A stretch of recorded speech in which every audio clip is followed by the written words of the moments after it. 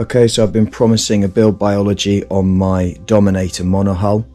This is a, a deep V, wide bodied uh, speed machine, a full carbon fibre hull, uh, 33 inches long, about 10 inches wide at the stern. Um, she is built like a torpedo.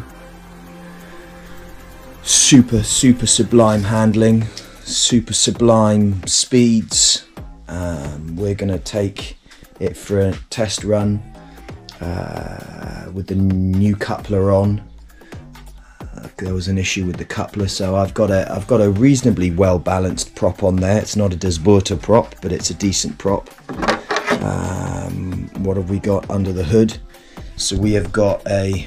Uh, let me just put this cowling down. Sorry, bit of YouTube gold there. We have got 160 amp SeaKing ESC.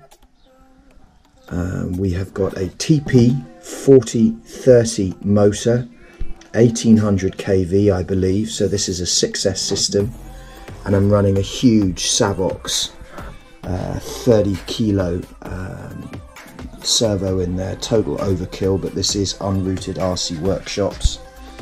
Dual trim tabs both sides. Nice big uh, stinger Lovely big turn fins, biggest I could fit on there. And the whole thing runs beautifully. Today, what I'm hoping to do is take her out for a run. Because she's going on eBay, it's all custom built, unrooted RC style.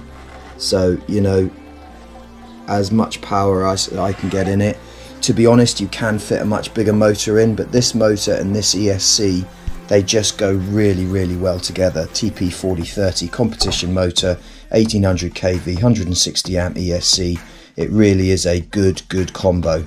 Reinforced uh, reinforced transom as well. Uh, this is a really nice boat really nice boat.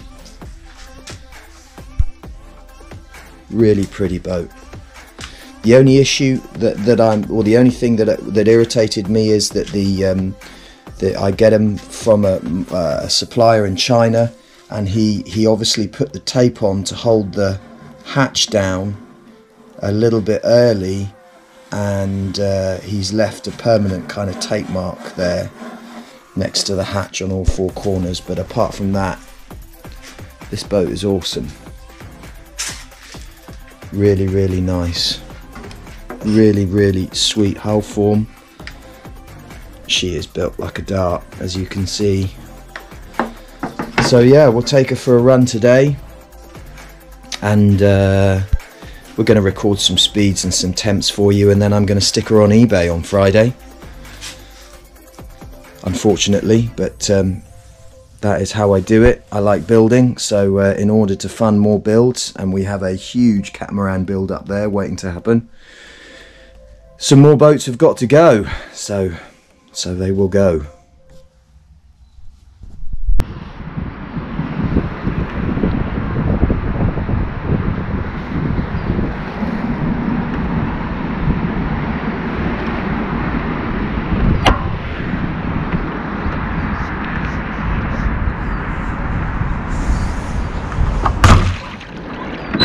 Yeah.